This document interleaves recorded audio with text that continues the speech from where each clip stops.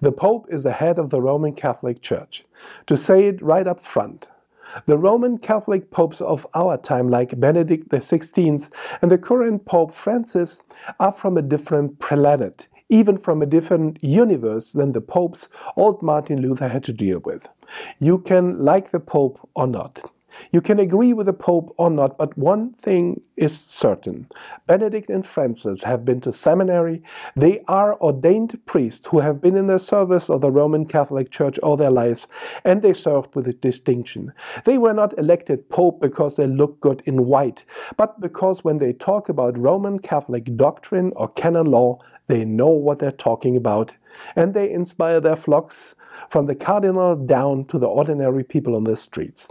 They would never say things like this God gave us a papacy, now let's enjoy it. No, these words were entered into historical memory by Pope Leo X.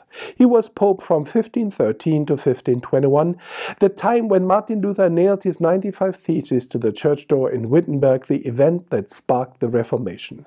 Leo was an illustrious character, to say the least. He was not even a priest when he was elected Pope. They ordained him after he was elected.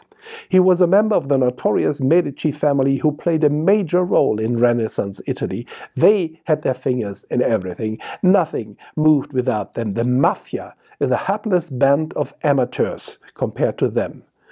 They turned making crooked political deals into an art form that inspires shady power grabbers and would-be dictators to this very day.